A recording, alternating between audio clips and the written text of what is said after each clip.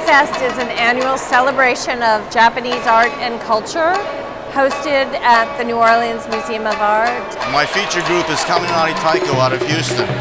They're an exceptionally wonderful, dynamic, energetic group of taiko drummers that practice Japanese style drumming.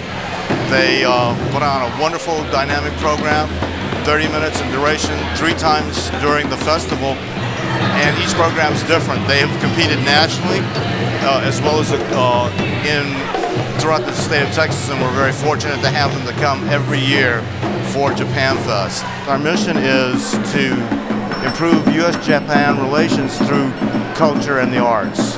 Uh, Japanese dance is, a, is an important part of sharing. We also have um, origami, Japanese paper folding items, as well as Japanese bookmarks with the personalizations in Japanese kanji.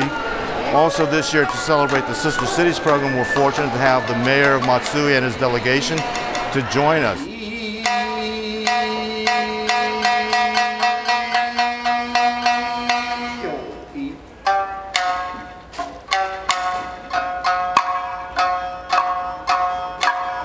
It's the premier festival for all of the cultural events that join the Japanese community in New Orleans with the New Orleans Museum of Art.